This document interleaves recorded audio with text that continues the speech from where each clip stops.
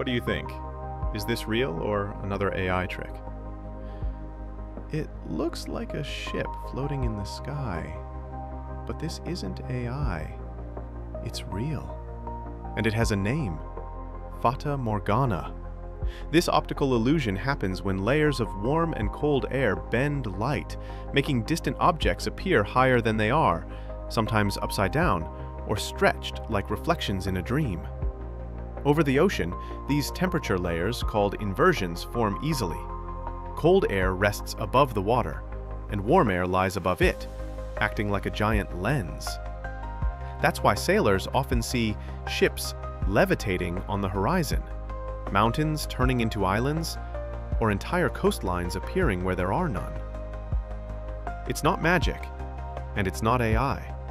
It's physics, the bending of light through air of different densities. To understand the world beyond illusions, you need real knowledge. OYLA.